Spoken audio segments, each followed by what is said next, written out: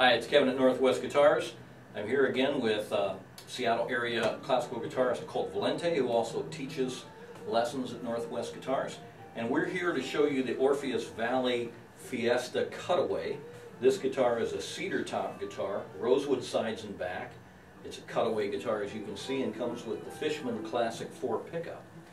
Very nice sounding guitar, very affordable, uh, warm, resonant, and Colt's going to demonstrate what it sounds like for you.